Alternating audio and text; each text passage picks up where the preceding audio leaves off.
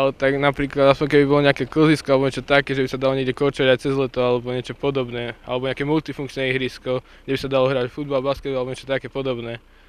A v Žarnovici alebo vo vašej obci nie je klzisko? No teraz je cez zimu, ale inak cez leto ani tak veľmi nie, len skôr keby bolo to multifunkčné ihris- ihrisko cez leto. Aspoň, že by nám to spravili. A kde konkrétne, odkiaľ ste? A Župkové. Ale tam je nejaká betónová plocha. No tam je len betónová plocha a dva basketbalové koše. A čo, čo ti tam chýba? Čo by ste tam chceli mať? Uh, napríklad nejaký lepší terén ako nejaký betón, betónovú plochu alebo niečo také. Aby sa tam dalo hrať aj futbal napríklad s kopačkami alebo niečím podobným. Tak takto, toto. Hej, lepšie vyba- vybavenie toho ihriska, tej, toho priestoru. Hej, hej, tak.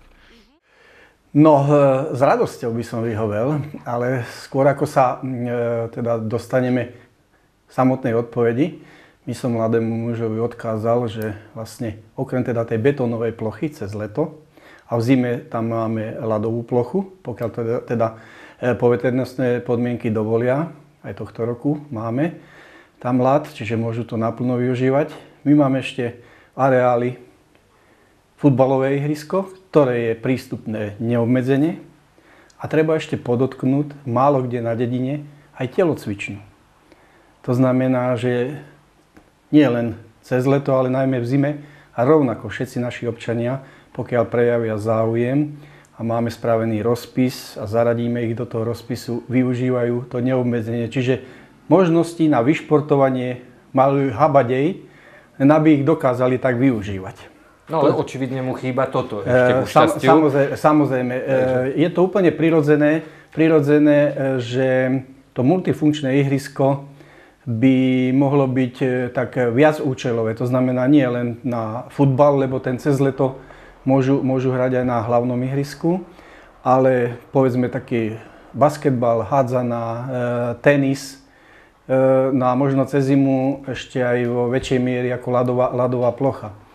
E, My sme ako obec e, uchádzali sa už dvakrát o multifunkčné ihrisko. Prvýkrát, keď vypísal úrad vlády, splnomocnenec pre šport, vypísali výzvu a tedy bolo cez 100 ihris sa robilo v rámci Slovenska. Uchádzali sme sa o to, mali sme aj predbežne prislúbené, že to ihrisko dostaneme, ale žiaľ, e, napokon rozhodnutie bolo také, aké bolo, že neboli sme medzi úspešnými žiadateľmi. E, Myslím si, aj ten systém financovania bol dosť náročný a boli by sme museli doplácať niekde na úrovni okolo 40 tisíc, čo pre obec s 868 obyvateľmi nie je malý peniaz.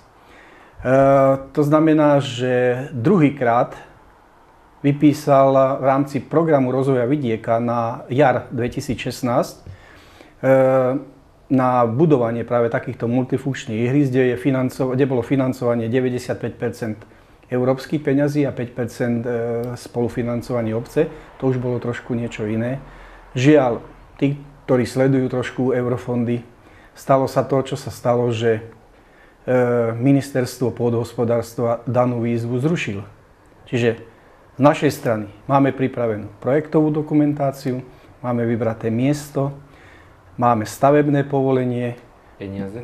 boli sme pripravení na spolufinancovanie tých 5% Žiaľ, výzva bola zrušená a predpokladá sa, že výzva by mala byť zopakovaná tohto roku. To znamená, že mm, dokonca už bolo ukončené aj verejné obstarávanie, čiže bol známy aj zhotoviteľ. Čiže tu ne, nebola prekážka už v ničom a verím tomu, že pri najbližšej, na, najbližšom čase, že tá výzva bude zopakovaná a budeme sa uchádzať a budeme úspešní. E, malo by to aj logiku, aby sme boli úspešní aj s ohľadom na to, že je to areály a blízkosti školy. Nie len teda využívanie multifunkčného ihriska len pre verejnosť, ale do obeda pre samotnú školu, pretože my sme škola Spádova pre všetky obce Klakovskej doliny a samozrejme po, po obedňajších hodinách a večerných hodinách pre, pre verejnosť. Takže môžem mladého muža ubezpečiť v tom, že obec e, toto má v pláne, obec e, na to myslí, je na to pripravená, ale samozrejme bez pomoci či štátu, alebo e, európskych finančných prostriedkov nie sme schopní vybudovať multifunkčné ihrisko niekde na úrovni 70 tisíc eur alebo 80 tisíc eur z, vlastných zdrojov. Zopakujem ešte raz, aj napriek tomu, že to multifunkčné ihrisko tu nie je, z môjho pohľadu si myslím, že je celku slušne, slušná, slušné možnosti na športovanie v rámci obci, ako som spomenul. Veľké futbalové ihrisko, betónová plocha, tel, telocvičňa.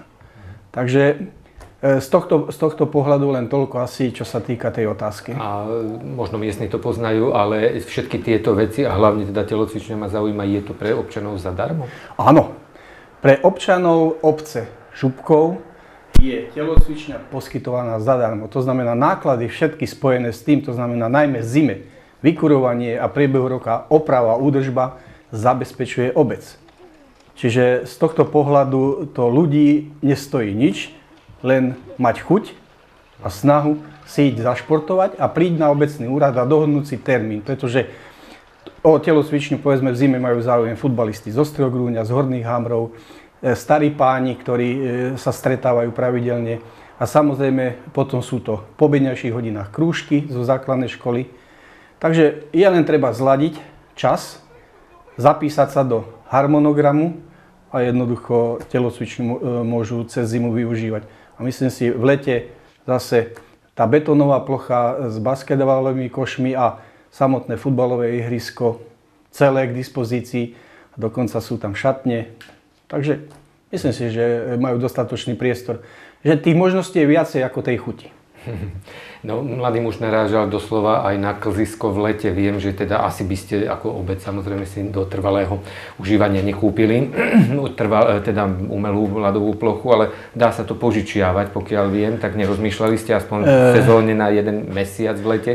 Nie, o tejto alternatíve sme neuvažovali. Je to pre nás absolútne nereálne z finančného hľadiska. Uh-huh. To sú obrovské náklady a keď si e, zoberieme veci, ktoré potrebujeme ďaleko prednostnejšie riešiť, ako e, korčulovanie, korčulovanie v lete, v lete, tak e, to je absolútne ako nereálna požiadavka mm. na pomery samotnej obce.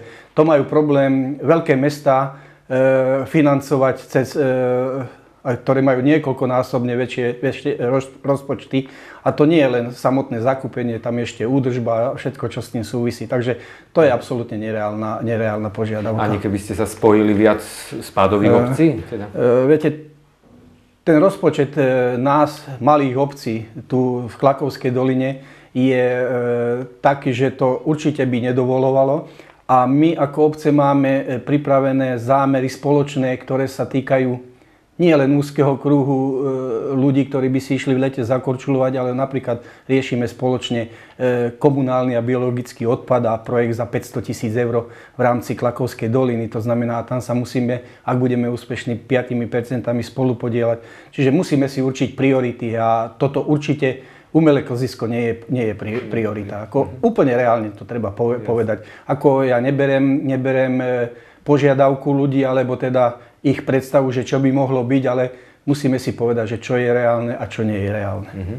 Ak teda to multifunkčné bude a vy teda ste plne pripravení po všetkých stránkach, tak kde by ste ho teda postavili? E, bude postavené v športovom areáli. E, bude zabratá zhruba jedna tretina toho betónového ihriska a je to nasimulované tak, aby to bolo blízkosti šatní, to znamená, aby sa mali kde ľudia prezliec, aby sa mali kde osprchovať po e, športovej aktivite a zároveň, aby e, nejakým spôsobom bolo zabezpečené prípadne osvetlenie a všetky tie služby súvisiace, súvisiace s prevádzkovaním toho ihriska. Takže je to v tých priestoroch, kde je súčasná betónová plocha, z ktorej sa zobere zhruba jedna tretina.